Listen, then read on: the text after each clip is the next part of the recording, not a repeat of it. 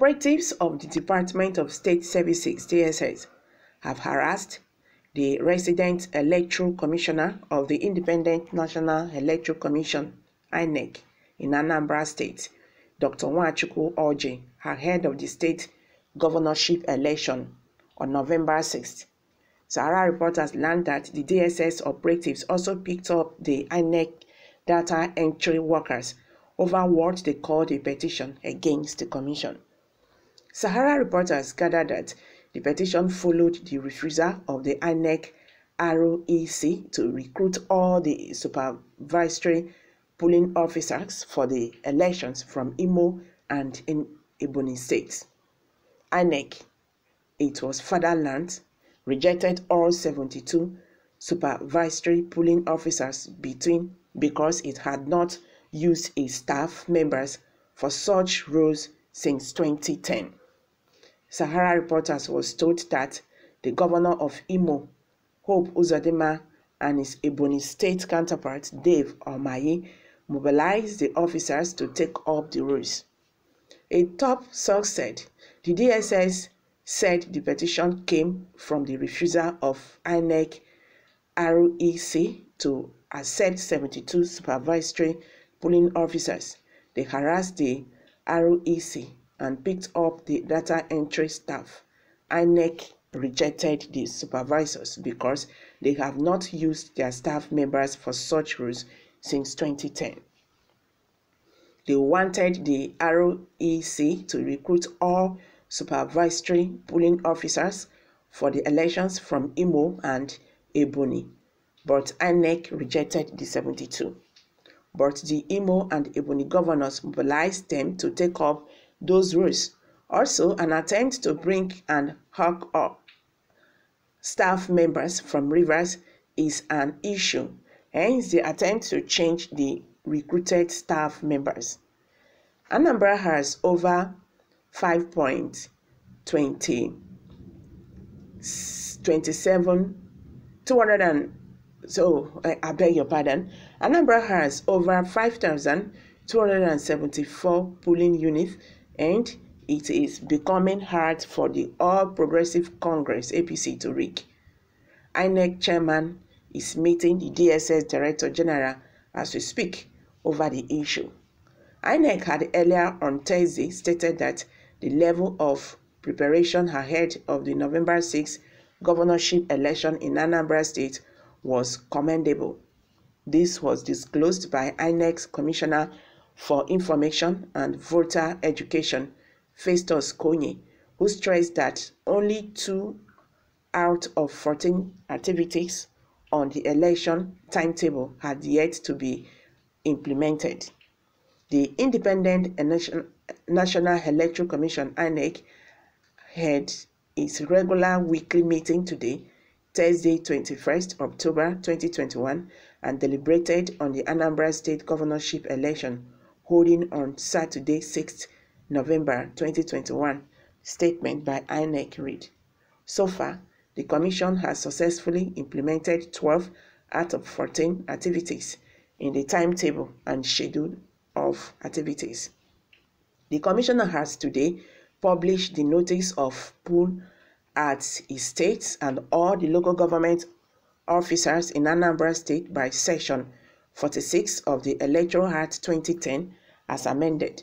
The Commission shall not later than 14 days before the day of the election cause to be published a notice specifying the data and hours fixed for the poll, the persons entitled to vote, and the location of the polling units. In the same vein, today is the last day for the submission of names of polling agents by political parties by Section 45 of the Electoral Act. Each political party may be noticed in writing addressed to the electoral officer of the local government, appoint a polling agent for each polling unit and collection center, INEC said. The notice shall set out the name and the addresses of the polling agents accompanied by two passport photographs of each polling agent and sample signature of the agent at least 14 days before the date fixed for the election. Political parties are strongly advised to adhere strictly to the law and the guidelines of the development of polling agents. Only duly accredited polling agents will be allowed to operate at the polling unit and location centers. This commission is satisfied with the current level of operations. Eventually, all non-sensitive materials have been delivered in readiness for the election. The training hard staff is also going on as scheduled. Hmm. Oh my God, Nigeria and my country. They can never stop. For all these our politicians, all their own is just do and do or die affair. I am telling you that these people, they are just, you know, doing all these things for their selfish reason. Because I see no reason why you want to kill yourself for an election. If you fail, you go home. If you pass, glory be to God. But if you fail, that does not mean that tomorrow you cannot contest again. Why the government is trying to do all these things? At the end of the day, they will place the wrong person because they want their party to be there. They will place a wrong person who is incompetent of that position. Then the state will start suffering, just like what we are suffering today. I think it's high time Nigerians will tell themselves the truth. We have to stand for our right and vote for the rightful person. This is not the time someone will come and tell you to take 1,000 naira and one bag of rice and you vote for them. At the end of the day, you will find yourself to be blamed because they have nothing to offer you. Anyway, uh-huh. let's quickly check some comments by Nigerians. Maybe those who unguided DSS are not aware that Anambra election have been postponed till further notice. Okay, someone just said that.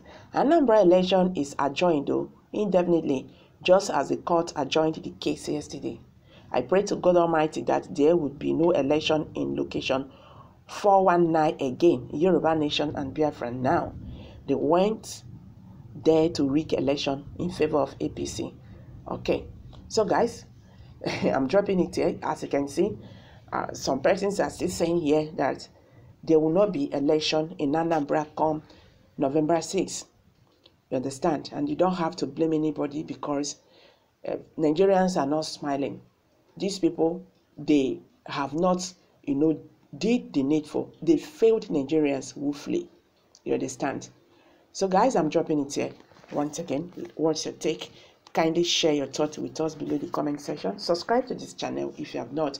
And don't forget to give us a thumbs up. Also, click on the notification button for more updates. Thank you very much for stopping by.